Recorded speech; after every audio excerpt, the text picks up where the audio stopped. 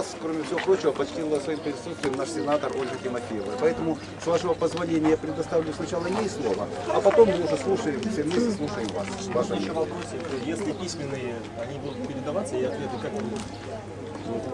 В письменных вы указываете адрес, фамилию, адрес, да, и вот письменные ответы будут естественно. Они, ваши письменные обращения будут официально зарегистрированы. Через канцелярию. Конечно. Прошу, Ольга Тимофеева, сенатор.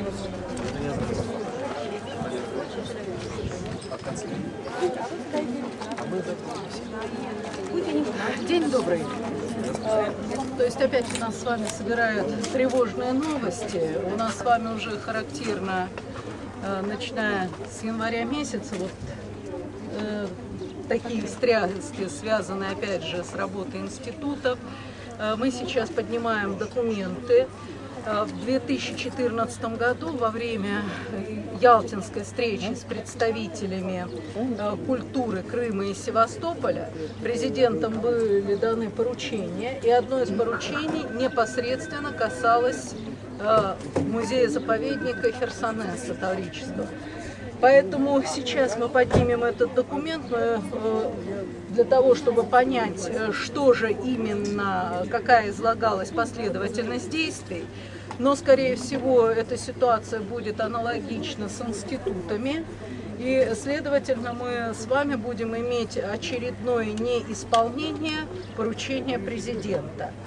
Вот э, то, что нужно действовать по закону, а закон в данном случае, я считаю, все же на стороне коллектива, научного коллектива, и интересы, э, в данном случае попытались вот столкнуть интересы разных ведомств, это глубоко неправильно. Даже если, вот гипотетически предполагаем, что где-то в планах вынашивается действительно скажем как, передача под э, русскую православную церковь этих э, земель, этого объекта, то тогда это не должно решаться таким образом. То есть должны э, были быть проведены, общественные слушания. Необходимо было услышать экспертов, взвесить все возможные за и против и тогда уже принимать решение. Э, То есть, э, когда это принимается волюнтаристски, то всегда за этим следует большая беда. Вот то, что мы сейчас с вами видим, то, что на протяжении недели э, трясет научный коллектив и фактически трясет город, потому что непонимание и, как всегда, если что-то решается неправедным образом, мы с вами можем предположить, что за, э- э, за этим стоят чьи-то э, корпоративные интересы. Интересы. Да, неправильные интересы. С одной единственной целью, что этот статус защитит заповедник от любых э, неправомерных и неправомочных действий. Почему это было затянуто и затягивалось в том числе управлением культуры города Севастополя, то есть исполнительной властью Севастополя, я думаю, предстоит выяснить, но этим заниматься будут, наверное, уже другие органы. Так что благодарю за внимание. А как можно выразить э, правильно недоверие нашему губернатору? Народ его не любит, народ считает, что он враг нашего города. Столько, сколько сделал он для нашего города. Не сделал ни один, даже Куницын, Саратов, которых мы считали самыми ну, плохими э, на тот момент мэрами. На сегодняшний день он враг. Он росчерком пера отдает нашей земли. Кто он такой? Ну, Кто он такой? Он обратите внимание. Он не был здесь. что, вот обратите внимание, что фактически он сам, он сам э, э, делает свои действия нелегитимными. Он сам своими действиями отнимает у себя власть. И вот, и, вот эти все процедуры, они дискредитируют На встрече с сотрудниками губернатор говорил, я имею на это право. Да Путин знает, это все это согласовано, но на данный момент стало известно, что данное согласование не проводилось. Какая будет Вот я считаю, что мы должны с вами пройти процедуру, именно законно, обращаясь э, в органы, э, именно э, которые компетентны. То есть в отношении губернатора мы можем обратиться, э, соответственно, к Вышестоящие исполнительной власти, вышестоящей инстанции. Мы можем обратить внимание, почему вот сейчас я хочу поднять э, поручение президента для того, чтобы опять выйти на ту схему, которая про- э, прописывалась, для того, чтобы мы опять с вами действовали в законных рамках и могли обращаться в администрацию президента, основываясь на неисполнении э, э, поручения президента четкого и э, показывая бездеятельность правительства в отношении не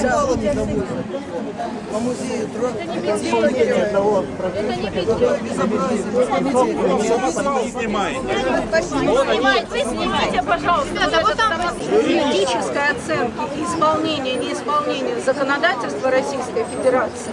Законодательное собрание вправе давать, и даже не то, что вправе, а обязано О давать. том, что это провокация мирового уровня. То, что дерьмом замазали церковь. То, что информация вылилась за границы. Э, опять, э, понимаете как? да? Эффект вообще события. А давайте посмотрим, Восприятие э, кто становится камушком. И каким образом?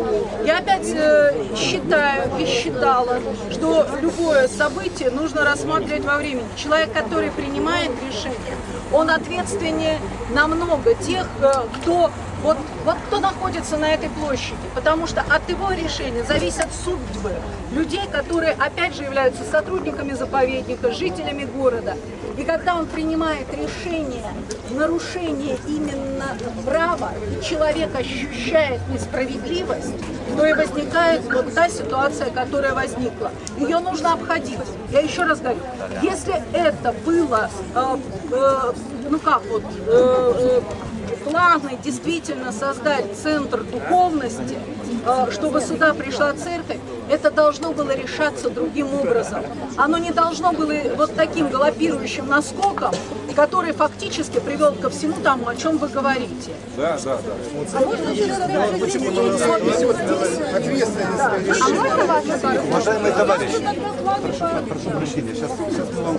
Уважаемые товарищи, здесь присутствует, как вы уже поняли, э, сенатор Ольга Тимофеева, депутат Заксобрания Севастополя Виктор Посметный и я, депутат Заксобрания Александр Караваев.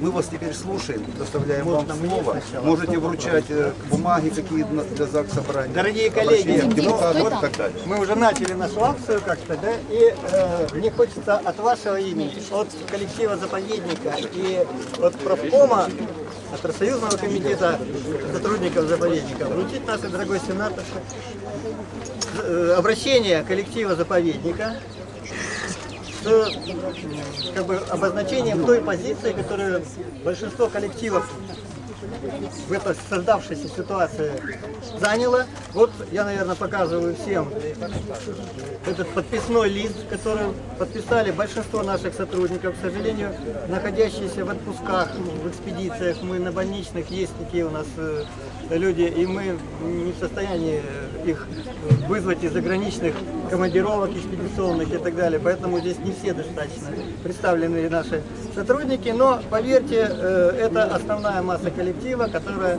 э, вот в едином порыве практически устроила такую э, горячую встречу нашему губернатору два дня назад. Вот это обращение, которое ну, является копией практически того обращения, которое мы зачитали тогда губернатору Сергею Михайловичу Мияйло. Вот 29 числа. Вот. Оно озвучено, оно есть э, на многих сайтах, э, все его прекрасно знают. Я думаю, мы не будем повторяться и читать, чтобы не занимать ваше время и не- отобрать э, время на вопросы для наших уважаемых законодателей. Но, наверное, именно как раз отвечая еще нашим обращениям на вопрос из ваших, вашей среды, именно попросим вот этим самым обращением наших уважаемых э, законодателей с правовой и юридической э, стороны дать настоящую правовую оценку тому, что произошло сегодня в Херсонесе, э, не вдаваясь в подробности, потому что мы не знаем, откуда растут корни и что мыслилось, затевая вот эту вот акцию. Поэтому вручаем вас, вам нашу скромную бумагу с подписями. Надеемся, что наши депутаты, избранники народа, будут в состоянии дать правильную оценку тому, что происходит вокруг Сколько человек подписались? Около ста. И представьтесь, пожалуйста, фамилия, имя, ваша должность. Николай Алексеенко, зав. филиалом заповедника, доктор Сорбоны, ну, все остальное.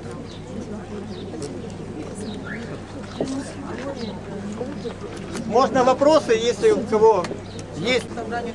Хотелось бы уточнить такой момент. На сегодняшний день в Севастополе не утвержден закон об объектах культурного наследия по городу Севастополю, как это сделано в других субъектах Российской Федерации. Поэтому мы пользуемся 73-м федеральным законом, в котором указано, что все объекты археологии являются федеральной собственностью, а, объектами федерального значения. Неважно, оформлены ли эти права или нет, уже априори наличие такого огромного количества памятников археологии дает нам право рассчитывать на федеральный статус. Второй момент – это нахождение объектов заповедника в ЮНЕСКО, что приравнивает его к объектам особо ценным и особо охраняемым государством. И опять же, э, на всех этих, если взять согласно законодательство Российской Федерации, 73 э, земельное законодательство, э, градостроительное законодательство, то там везде будет указано то, что на данных объектах, особо ценных и федеральных, невозможно проведение каких-либо работ без проектной согласовательной документации и ее согласуют на самом высшем уровне как бы э, хотелось бы уточнить все-таки, вот э, понятно, что назначение нового директора, назначение старого, это кадровые вопросы, которые могут быть решены на, на уровне города, да, федерального субъекта. Но насколько возможно э, то, что вот мы сейчас видели, то есть когда новым уже директором ведутся работы, которые никем, нигде не согласованы, никакой проектной документации на них нет, и при этом человек позиционирует себя как э, то, что он будет сохранять э, интересы Херсонеса, интересы государства, интересы науки и интересы ЮНЕСКо, которые представляют международный резонанс. Хотелось бы вот все-таки выяснить этот момент, насколько законно такое поведение нового директора. Представьтесь, пожалуйста. Заведующий сектором отдела охраны и исследования памятников Бескаравайная Наталья. Спасибо. Ситуации э, мы должны получить правовую оценку соответствующих органов. То есть я вижу вариант такой, что вот по проведению этих работ э, необходимо заявление в прокуратуру. И прокуратура, как орган надзора, должна вот эту правовую оценку и выработать. Писать должен директор сам на себя заявление. А, В данном случае, я думаю, что опять же вы выносите вопрос, обращаетесь к законодательному собранию, и законодательное собрание, оно уполномочено именно э, такие вопросы решать. То есть, если вопрос возникает, то оно на- перенаправляет вопрос в соответствующий государственный орган, и государственный орган уже отвечает не только заявителю, но и э, законодательному собранию. То есть вот точно так же э, то, что отражено в вашем письме, э, оно распределяется как? То есть э, ты, когда изучаешь документ, ты определяешь, какой орган должен быть э, подключен для решения поставленной задачи. И, соответственно, направляешь свое уже обращение э, с просьбой получить исчерпывающую оценку э, действием, бездействием и действуешь уже в зависимости от ответа дальше. То есть это вот, я говорю, это уже в полномочиях законодательного собрания. Если у нас церковь отделена от государства, это так? Церковь отделена от А может государства, это тогда да. государственный служащий быть? А, Приводится пример, когда такие объекты на территории Российской Федерации существуют. В частности, Троицкая Сергиевская лавра. Ну, это совсем... Ну вот это совсем другое, мы с вами понимаем. А В данном случае как раз и ставится вопрос, что Херсонес... Да, да. То есть э, вот здесь э, возможность опять ставить вопрос, получать на него ответ и апеллировать уже к самым э, верхним источникам власти, потому что показывая, это можно обращаться уже непосредственно, я говорю, законодательная у нас с вами есть власти, исполнительная и э, судебная. Хотелось бы добавить про эти два музея, которые нам называют Сергиев Посад и Соловецкие острова.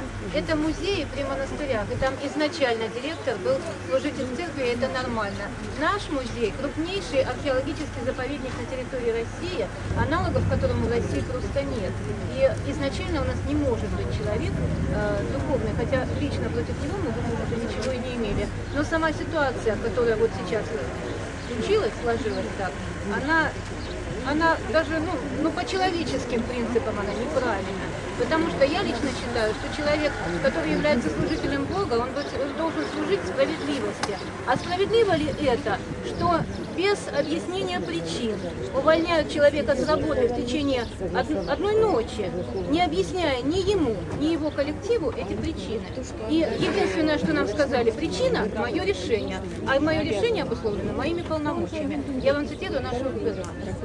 Но в данном случае я понимаю, что Людмила Знаменская за сектором научной библиотеки заповедник. что господин Кулагин будет обжаловать это решение в суде, и, соответственно, суд э, будет затребовать основания и документы, а- и основанием для увольнения не может быть формулировка «мое решение». Должно быть соответствующие статьи, э, и Я э, 278, который там тогда опять возникает вопрос, а что дальше? Как минимум должны были за два месяца. Да, да. Ольга Леонидовна, а Кулагин подтвердил, что он будет жаловаться в суд? Э, По моей информации, он будет жаловаться. Вот э, стопроцентной гарантии у меня, естественно, нет, пока он сам не сделает заявление, что вот он уже вошел в судебный процесс. Спасибо. А образование вы значит, начальника соответствует? В данном случае, э, я, э, скажем так, я не уполномочена давать эти оценки, это оценки должны давать э, соответствующие наши. Духовная академия приравнивает культуры, которые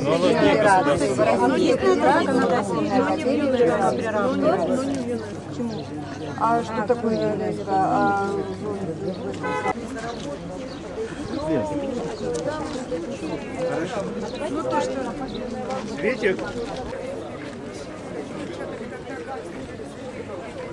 Thank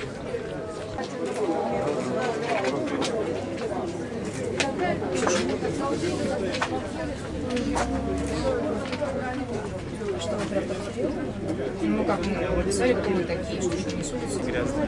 То, что мы видели по телевидению, там, когда было представление нового директора, честно говоря, я не совсем понял позицию губернатора, логику этого кадрового назначения. Совершенно непонятно. Насколько я понимаю, достаточно сложный объем большой здесь, при всем уважении к отцу нет ни профильного образования, ни, ни опыта работы. То есть справится ли он? То есть, э, ну, я так понимаю, в тоже ведь много работы. Поэтому не совсем понятна логика этого кадрового назначения. Поэтому мы решили выслушать и переговорить с э, другими, э, скажем так, участниками этого процесса, с, с новым директором, с севастопольским благочинным. Он, он теперь в двух ипостасях, поэтому придется разговаривать в двух ипостасях с ним, скажем так. Вот. И с губернатором, ну, насколько я знаю, он сейчас просто в отъезде, чтобы понять вот эту логику, почему у нас слишком и так много социальной напряженности в городе, и зачем еще искусственно э, раздувать этот пожар, ну, не совсем понятно. по сути, собирая вот